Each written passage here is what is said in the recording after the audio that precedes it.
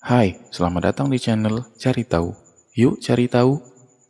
Baik, kali ini kita akan membahas video tentang bagaimana cara mengecilkan atau mengkonversi file yang berukuran besar menjadi berukuran kecil.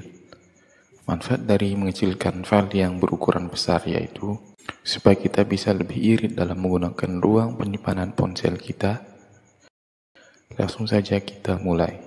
Pertama, buka aplikasi Playstore yang ada di HP kalian. Kemudian, ketik di kolom pencarian Playstore dengan kata dengan kata kunci video kompres seperti ini.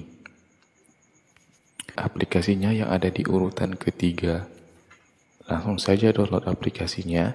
Setelah di-download, buka aplikasinya, kemudian cari file mana yang ingin dikecilkan ukurannya, lalu klik kompres video, kemudian kalian tinggal pilih ukuran video sesuai selera kalian. Kalau di sini saya pilih yang kualitas HD supaya kualitas video saya tidak beda jauh dari aslinya.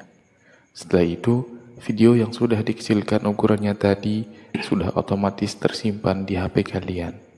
Selamat mencoba.